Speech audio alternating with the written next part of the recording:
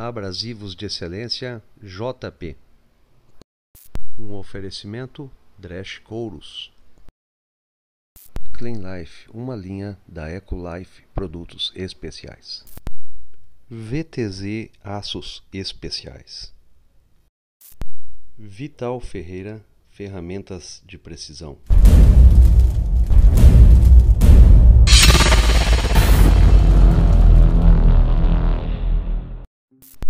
Olá pessoal, curso básico de São carbono 1084 com ferro 1020 nas externas. Né?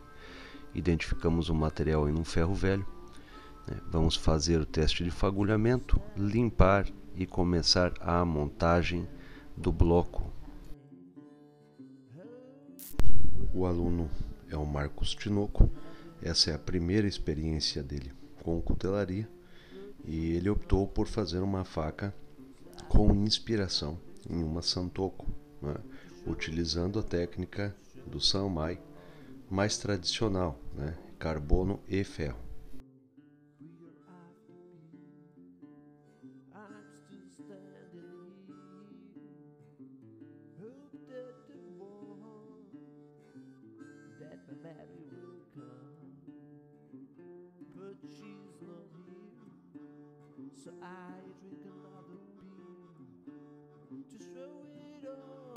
Aí o Marco já está soldando o material, né? vai soldar, vai passar o bórax, né?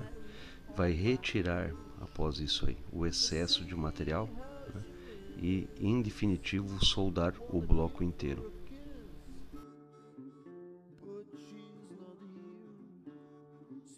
Aí com o bloco já em uma bitola única, todo o material soldado, vai começar a etapa de aquecimento né, e forjaria manual. Para essa etapa o Marco está usando três banhos de bórax né, e posterior a isso começa a forjar lentamente e sem pressão com o martelo de uma ponta a outra apenas para compactar o material.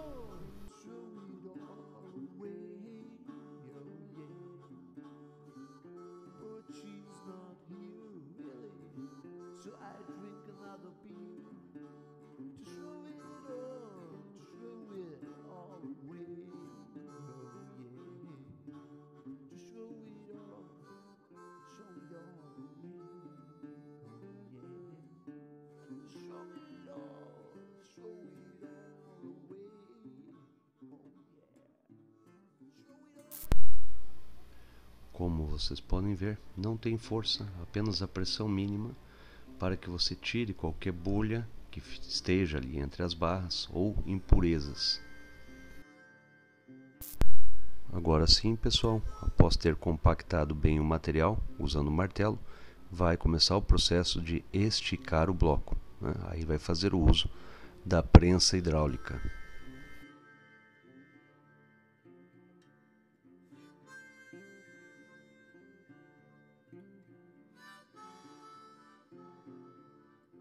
Neste momento, o Marcos está esticando o bloco usando o martelete pneumático.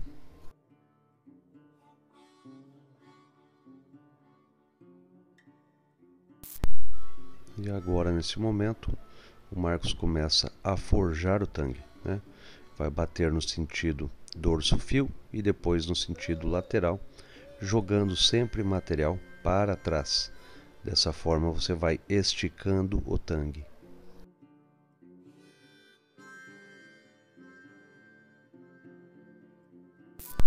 E nesse momento começa a puxar material para a área do fio.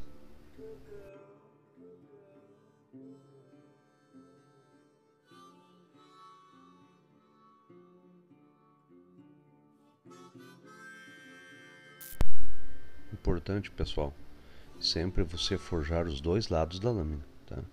evitando assim que fique um lado em desproporção de ângulo em relação ao outro.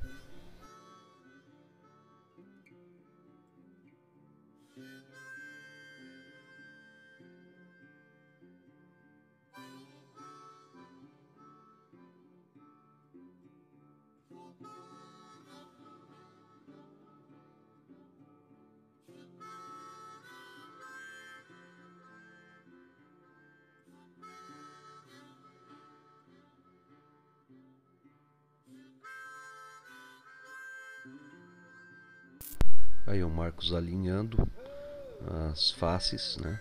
E buscando uma bitola única de espessura da lâmina.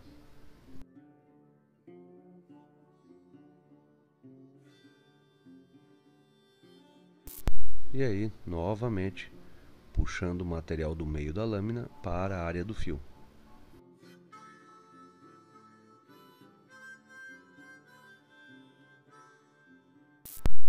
E agora alinhando uh, o sentido dorso-fio né?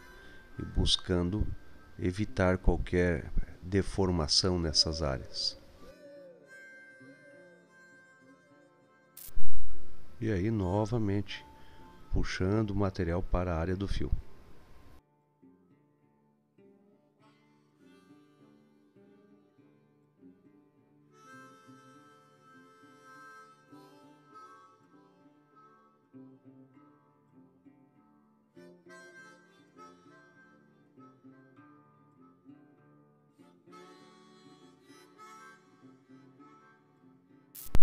Agora está forjando a área do dorso, né? tentando é, emparelhar essas espessuras né, que estão assimétricas. Então está tentando afinar um pouco o dorso e também com esse trabalho ganhar um pouco mais de largura na lâmina.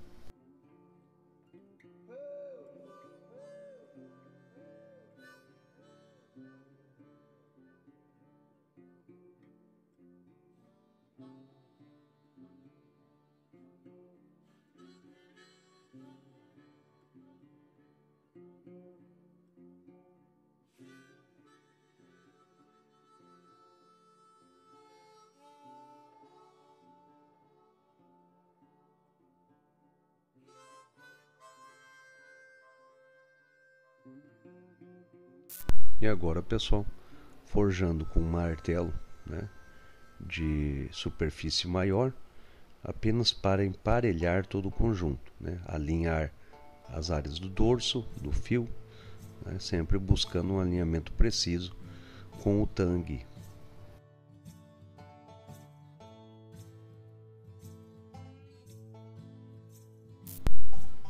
A lâmina alinhada, pessoal, chegou a etapa de fazer o recozimento. Eu opto sempre né, por um recozimento bastante longo. Nesse caso, né, a faca em temperatura alta, temperatura de têmpera, a gente desliga e deixa resfriar junto com a forja.